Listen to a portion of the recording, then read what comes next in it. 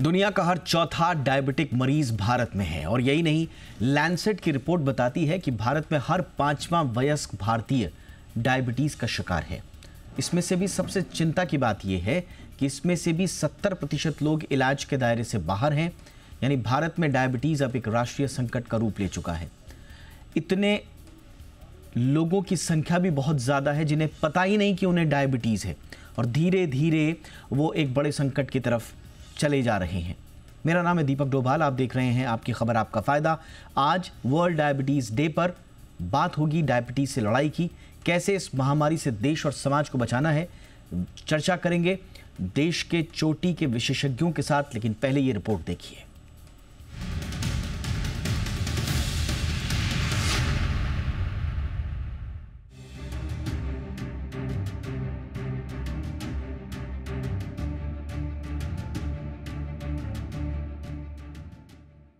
माने या ना माने, लेकिन ये कड़वी सच्चाई है कि भारत अब डायबिटीज़ की राजधानी बन चुका है इससे भी ज़्यादा चौंकाने और चिंता वाली बात यह है कि देश में एक बड़ा तबका ऐसे लोगों का है जिन्हें डायबिटीज़ तो है, लेकिन वो इलाज से वंचित हैं। पहले जरा ये समझ लीजिए कि भारत को मिले इस चिंताजनक टैग का आधार क्या है लेंसेट की ताज़ा रिपोर्ट बताती है कि दुनिया के कुल बयासी दशमलव आठ करोड़ डायबिटीज़ मरीजों में से 25 परसेंट यानी हर चौथा मरीज़ भारतीय है और ये संख्या हर साल बढ़ रही है। यहाँ तक कि पाकिस्तान, अमेरिका और चीन जैसे देशों की तुलना में ये आंकड़ा कहीं ज़्यादा चिंताजनक है। रिपोर्ट के अनुसार भारत में डायबिटीज़ का प्रतिशत 1990 के बाद दुगना हो गया है। पुरुष में ये 11.3 परसेंट से बढ़कर 21.4 परसेंट हो गया है और महिलाओं में 11.9 परसेंट से बढ़कर 24 परसेंट हो गया है। चीन अमेरिका पाकिस्तान और ब्राज़ील जैसे देशों के मुकाबले भारत की हालत इसलिए भी ज़्यादा चिंताजनक है क्योंकि यहाँ मरीज़ कम उम्र में ही इस बीमारी के चपेट में आ रहे हैं इलाज के अभाव में उन्हें दिल की बीमारियाँ, किडनी फेलियर अंधापन और कई बार असमय मृत्यु का खतरा भी है लेंसेट की रिपोर्ट ये बताती है कि साल 2022 में करीब 21.2 करोड़ वयस्क भारतीय डायबिटीज़ का शिकार थे लेकिन उनमें से अधिकतर इलाज के दायरे से बाहर हैं। डायबिटीज़ से ग्रस्त 21.2 करोड़ भारतीयों में से लगभग 70 प्रतिशत लोग इलाज ही नहीं करा पा रहे। इसका मतलब ये है कि लगभग 15 करोड़ लोग जो कि कई देश की पूरी जनसंख्या के बराबर है डायबिटीज़ के खतरनाक दायरे में बिना इलाज के फंसे हुए हैं। नतीजा जब तक इस बीमारी के गंभीर परिणाम सामने आते हैं जिसमें दिल की बीमारियाँ, किडनी फेलियर पैरों की नसों का खराब होना, आँखों की रोशनी चले जाना और असमय मौत तक का खतरा शामिल है, तब तक बहुत देर हो चुकी होती है। कुल मिलाकर लेंसेट की रिपोर्ट देखें तो भारत में केवल 30 परसेंट डायबिटीज़ के मरीजों को ही नियमित इलाज मिल पा रहा है। संकट यही नहीं है। इसके अलावा भी कई लोग बीमारी का इलाज नहीं करवाते, कुछ घरेलू उपायों पर निर्भर करते हैं और कई लोग अपने स्तर पर ही डॉक्टर बनने की कोशिश करते हैं, जिससे उनकी सेहत की स्थिति और भी ज़्यादा बिगड़ जाती है। अब सवाल ये है कि आखिर किया क्या जाए जानकार मानते हैं कि इस पर दो तरह से काम होना ज़रूरी है पहला, व्यक्तिगत स्तर पर, और दूसरा, नीतिगत स्तर पर डायबिटीज़ से दूर रहने के लिए साल में एक बार शुगर का टेस्ट ज़रूर करवाएँ। चीनी और तैलीय खाने का सेवन कम करें रोज़ाना 30 मिनट एक्सरसाइज को अपनी आदत बनाएँ। डायबिटीज़ हो जाए तो नियमित दवाइयों का सेवन करें और इधर उधर के इलाज और नुस्खों को छोड़कर विशेषज्ञ डॉक्टर से समय समय पर सलाह लेते रहें। इसके अलावा जो कदम नीतिगत स्तर पर उठाए जाने चाहिए, उनमें इलाज तक पहुँच बढ़ाने के लिए स्वास्थ्य केंद्रों में सुधार हो, डायबिटीज़ जागरूकता के लिए राष्ट्रीय अभियान चलाया जाए, दवाओं की उपलब्धता और सस्ती दरें सुनिश्चित की जाए, शहरी और ग्रामीण इलाकों में नियमित जाँच की सुविधा बढ़ाई जाए। स्वस्थ जीवन शैली के बारे में शिक्षा प्रणाली में पाठ्यक्रम में शामिल किया जाए।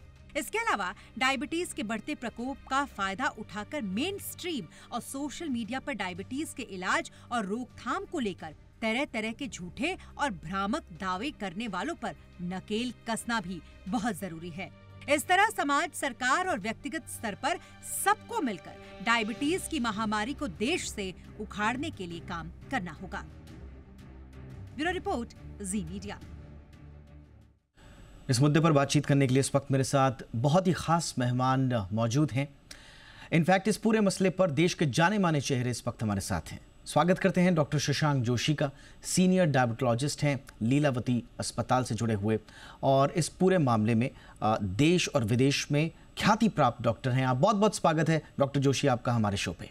हमारे साथ हैं डॉक्टर अशोक कुमार झिंगन, जो कि सीनियर डायरेक्टर हैं सेंटर फॉर डायबिटीज़ बीएल के मैक्स हॉस्पिटल में। आप भी एक बड़े स्तंभ हैं इस पूरे मसले पर बातचीत की जब जब बात होती है। बहुत बहुत स्वागत है डॉक्टर झिंगन आपका भी हमारे शो पे। और हमारे साथ हैं डॉक्टर हंसाजी योगेंद्र प्रेसिडेंट हैं इंडियन योगा एसोसिएशन की। बहुत चर्चित नाम और इस पूरे आ, मसले पर योग के मसले पर दशकों से प्रयासरत और समाज को जागरूक करने वाली महिला। बहुत बहुत स्वागत है डॉक्टर हंसा जी आपका शो पर मैम। सबसे पहले डॉक्टर जोशी, आपसे मैं चर्चा की शुरुआत कर रहा हूँ। आंकड़े बड़े भयावह हैं, सर। डब्ल्यू की रिपोर्ट बताती है, साढ़े सात करोड़ से ज़्यादा लोग तो डायबिटिक हैं।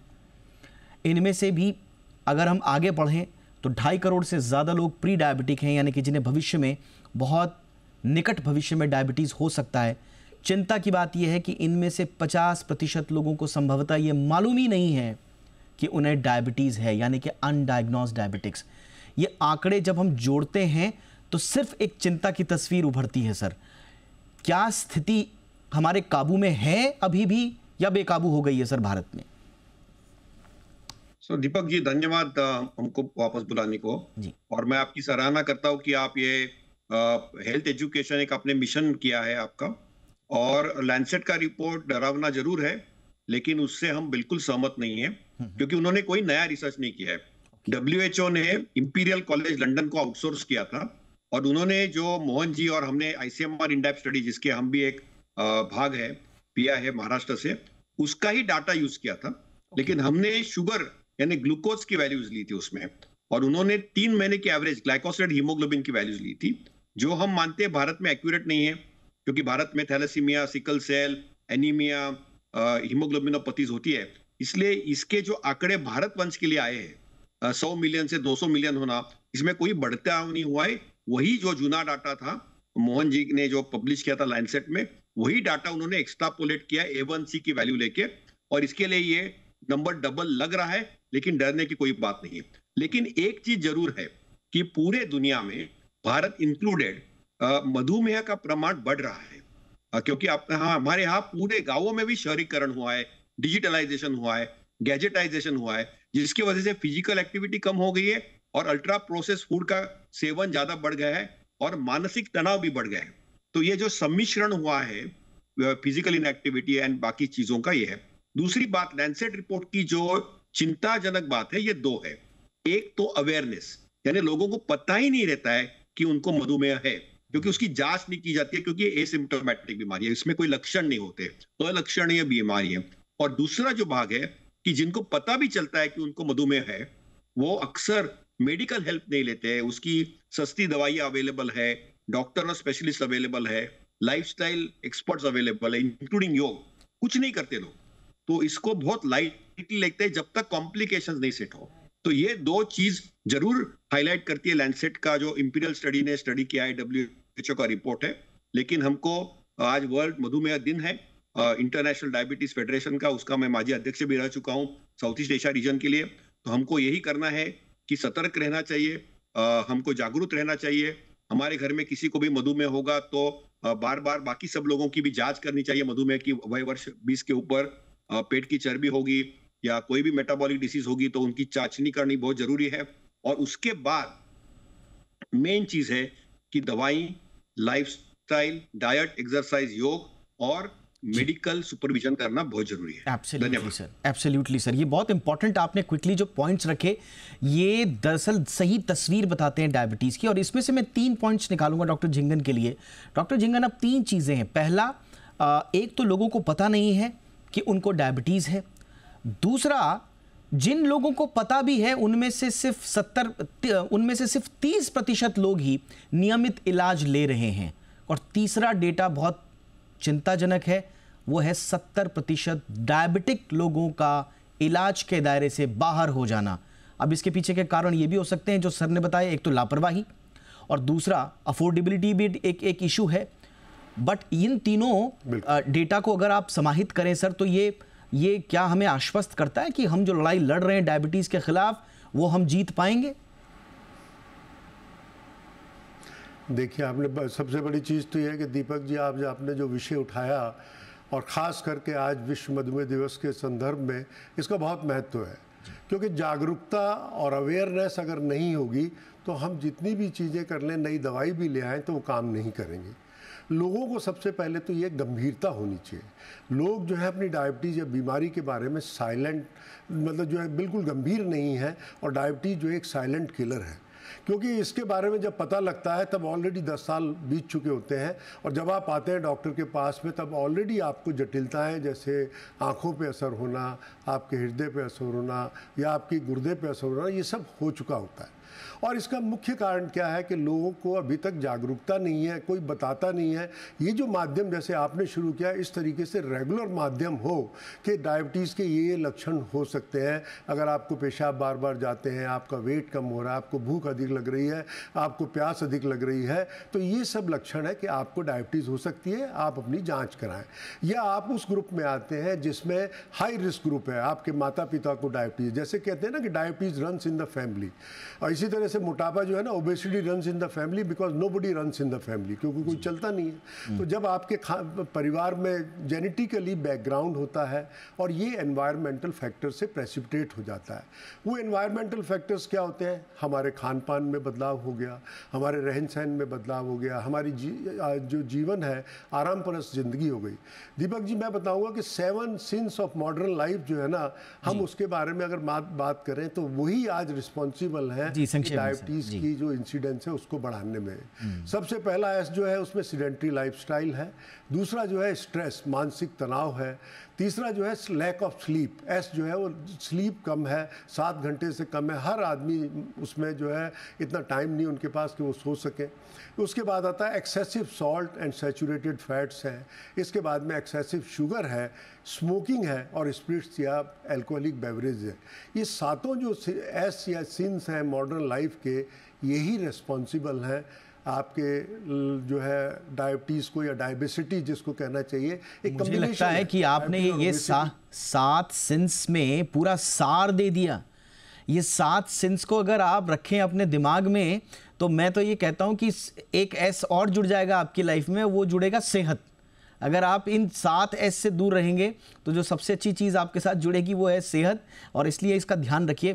Thank you so much doctor साहब। आपने बहुत अच्छे तरीके से बता दिया। मुझे लगता है ये टेक अवे होना चाहिए आज के शो का, कि किस तरह से डेटा जो सर ने बताए डॉक्टर जोशी ने, और आपने जो सार बताया, ये बहुत इंपॉर्टेंट चीज़ है जो हमारे दर्शकों को ध्यान में रखना है। अब मैं चल रहा हूँ डॉक्टर हंसा जी के पास। मैम सबसे पहले तो यही बताइए मैम कि एक डायबिटिक पेशेंट को, क्योंकि डॉक्टर जोशी ने जैसे कहा कि इलाज के माध्यम मौजूद हैं और उसमें उन्होंने योग का भी ज़िक्र किया।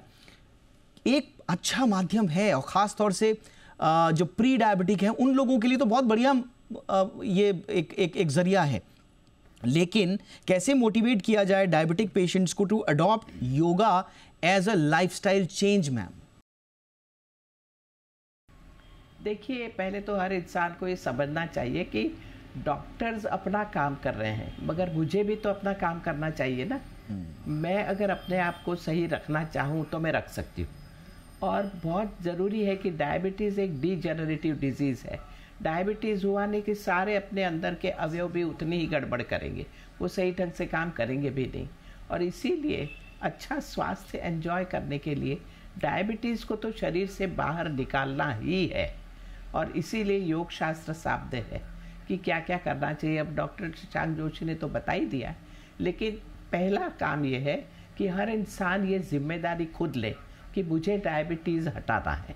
वो खुद का जब तक मानसिक स्वास्थ्य सही नहीं रखेगा, यानी खुद के माइंड को वहाँ नहीं डालेगा, कोई भी आपको मदद नहीं कर सकता। दूसरा कि थोड़ी डिसिप्लिन तो लानी पड़ेगी लाइफ में। हम कहते हैं कि डायबिटीज़ में समय से खाना खाना बहुत ज़रूरी है। टाइमली ईटिंग फ़ूड वो टाइम को डिस्टर्ब मत करे तो ग्लूकोज मैनेजमेंट सही नहीं रहेगा। इसलिए समय पर खाओ और खाते वक्त ध्यान रखो कि भूख लगी हो। अगर भूख नहीं लगी तो सिर्फ़ लिक्विड लो। जैसे हम कहते हैं, छाछ लो, दही पेट में जाना ही चाहिए, इसलिए वो लो। लेकिन आप समय पर डिसिप्लिन में खाना खाओ। तीसरा, कि डायबिटीज़ में ध्यान दिया जाए कि वो अमुक चीज़ें, जिससे उसका डाइजेशन अच्छा हो। प्रोबायोटिक चीज़ें, वो खानी बहुत ज़रूरी है, क्योंकि जब जठर ठीक रहेगा तो हर चीज़ सही रहती है। और इसीलिए उनको दही पेट में जाना चाहिए। डायबिटीज़ में एक रिसर्च किया है मेथी के ऊपर।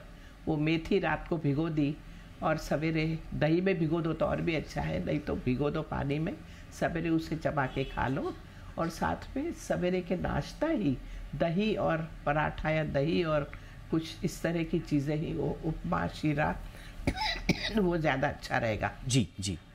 डायबिटीज़ में लंबे सांस लेना योग के हिसाब से बहुत ज़रूरी है। ऑक्सीजन शरीर में बढ़ना ही चाहिए। क्योंकि ऑक्सीजन सही हो तो हीलिंग फास्ट होता है एनर्जी लेवल ठीक रहता है।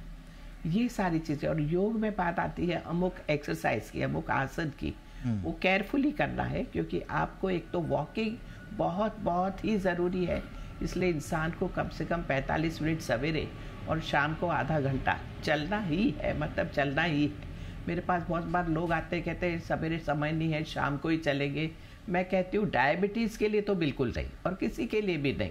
सवेरे सवेरे प्रकृति के साथ संबंध जोड़ना ऑक्सीजन ज़्यादा लेना बहुत ज़रूरी है। और इसीलिए morning walk absolutely absolutely ma'am ज़रूरी है जी। कि जी। मन की स्थिति एक ये बात याद रखिए कि मन में हर डायबिटिक का देखा है कि वो बड़ा परफेक्शनिस्ट होता है। हर चीज़ उसको अमुक ढंग से ही चाहिए नहीं तो वो डिस्टर्ब हो जाता है। अब डिस्टर्ब माइंड तो स्ट्रेस है और स्ट्रेस का कारण तो रोग बढ़ाएगा ही। हर डायबिटिक को चाहिए कि वो स्वावलंबी बने। अपना काम खुद करे तो डिस्टर्ब नहीं होगा दूसरे आपकी तरह काम नहीं कर सकते वो आपकी तरह इंटेलिजेंट नहीं है शायद। तो ये बात याद रखिए कि person has to be self reliant do your work yourself अपना करें। यानी कि मैम अगर मैं आपकी बात का सार निकालूं तो आप कह रहे हैं कि डायबिटीज़ का जो इलाज है या मैनेजमेंट है, वो आपके आसपास ही है। आपके आसपास की प्रकृति में है और आपके आसपास के साथ साथ आपके भीतर की सोच में भी है। तो प्रकृति के साथ जुड़ाव आपने कर लिया और खुद के साथ जुड़ाव आपने कर लिया, खुद की सोच को साध लिया, सिद्धि कर ली मन की सिद्धि कर ली तो भी आपका काम हो जाएगा। फिर संभवतः बाहरी चीज़ों पर आपको डिपेंडेंट ना रहना पड़े। स्वावलंबन की जो आपने बात करी। एक छोटे से ब्रेक के लिए मैं रुक रहा हूँ। ब्रेक के उस पार थोड़ा सा और हम उन भ्रांतियों पर बात करेंगे, जो एक आम व्यक्ति डायबिटिक हो या प्री डायबिटिक उन भ्रांतियों के साथ जीता है यहाँ वहाँ भटकता रहता है। कोई उसे इलाज और रिज़ल्ट मिलते नहीं हैं। और इन भ्रांतियों में वो पूरा जीवन गुजार देता है अपनी, जिसमें उसकी क्वालिटी ऑफ़ लाइफ कॉम्प्रोमाइज हो जाती है। एक छोटे से ब्रेक के बाद इस पर चर्चा।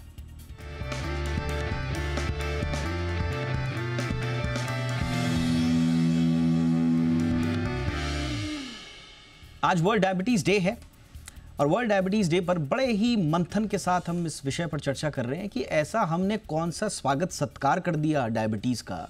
ऐसे हमने कौन से सर्कमस्टांसेस खड़े कर दिए कि डायबिटीज़ को इंडिया इतना पसंद आ गया, इतना ज़्यादा प्रसार।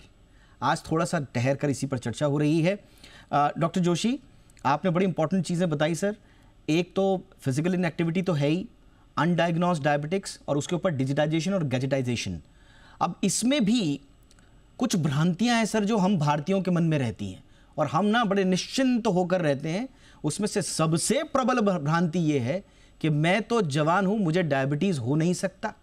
और उसके ऊपर मेरी फैमिली में भी कोई हिस्ट्री नहीं है तो मुझे डायबिटीज़ हो नहीं सकता। और वो इस भ्रांति के साथ तब तक जीता है, जब तक एक दिन उसकी रिपोर्ट ये नहीं बता देती कि साहब, आप डायबिटिक हैं, ये वस्तु स्थिति है। क्यों सर, ये भ्रांति सही है क्या? नहीं, ये सही नहीं है, क्योंकि हमारी प्रोग्रेस हो रही है। हमको ज़्यादा पैसा मिल रहा है पूरा अपना देश प्रगतिशील है। तो यह प्रगतिशील का एक साइड जी। इफ़ेक्ट है कि हमको कुछ नहीं हो सकता है। पे कर रहे हैं हम ज़्यादा पैसा कमाने का। जैसे आ, हम अभी खाना डायरेक्टली ऑर्डर करते हैं डिजिटल फ़ूड से और अल्ट्रा प्रोसेस फ़ूड खाते हैं यू नो फ़िज़िकल इनएक्टिविटी बढ़ाते हैं। तो हमने एक ऐसी एनवायरनमेंट क्रिएट कर दी है और ह्यूमन टेंडेंसी हमको कि एक डिनाइल मोड में जाने की। दूसरी एक इंडिया में स्पेसिफिक जीन है कि हम थोड़े सुस्त और मस्त है लेजी है। हम्म। तो हमको एक ऐसी एक आशा है कि हमको हो ही नहीं सकता है। और हो भी गया तो कुछ नहीं होगा। तो ये हमको जो एटीट्यूड है ये चेंज होना बहुत ज़रूरी है और सीरियसली लेना बहुत ज़रूरी है। अक्सर हमारे पास लोग आते हैं जब उनको हार्ट अटैक होता है उनकी किडनी खराब होती है उनके नर्व्स खराब होती है फिर आते हैं ये बहुत लेट हो जाता है। तो थोड़ा सा आपको लाइटली नहीं लेना चाहिए। मधुमेह ये fastest growing non communicable disease है। और इसके कॉम्प्लिकेशन जो है हमारे पूरे शक्कर हमारे ब्लड वेसल्स को चिपक जाती है और ये व्हाइट एंड जैसे होती है। इट्स लाइक like, uh, पूरे बॉडी को अंदर से खोखला बना देती है। तो इसलिए हमको थोड़ा सा ये सावधानी बरतनी चाहिए। क्योंकि हमारे uh, इसमें ऐसी लाइफस्टाइल है तो रेकलेस नहीं रहिए और please take care of yourself absolutely sir और भ्रांतियों से बाहर निकलिए। इन भ्रांतियों से बाहर निकलना बहुत ज़रूरी है। इस डिनायल मोड से बाहर निकलना बहुत ज़रूरी है। और उसके लिए ज़रूरी है वस्तु स्थिति को समझना। डॉक्टर झिंगन एक बार बार जो एक्सक्यूज़ दिया जाता है वो ये भी दिया जाता है कि साहब मुझे प्री डायबिटिक या डायबिटीज़ अगर काउंट हो भी गया तो मैं कुछ ना कुछ करके आ, इसको ठीक ठाक कर लूँगा या मैं कुछ नुस्खे वगैरह अपना लूँगा उससे ठीक हो जाऊँगा। क्योंकि अगर मैंने दवाई शुरू करी तो ये दवाइयाँ तो मेरे लिए और घातक हैं। ये भी भ्रांति है कि दो चार महीने आप एक साल, दो साल दवाइयाँ खा लीजिए। इन डायबिटीज़ से हो ना हो, लेकिन किडनी फेलियर आपकी इन दवाओं से हो जाएगा। इस तरह की बातें भी होती हैं। क्या ये भ्रांतियाँ सही हैं, सर? ये भ्रांतियाँ बिल्कुल गलत हैं और जैसा आपने बिल्कुल सही कहा कि प्री डायबिटीज़ देखिए ये जो हम आंकड़े कह रहे थे कि डायबिटीज़ के अगर 70 मिलियन या 77 मिलियन है उतने ही लोग प्री डायबिटीज़ हैं जो आगे चल के हर साल 10 परसेंट की स्पीड से ये डायबिटीज़ में कन्वर्ट हो जाते हैं।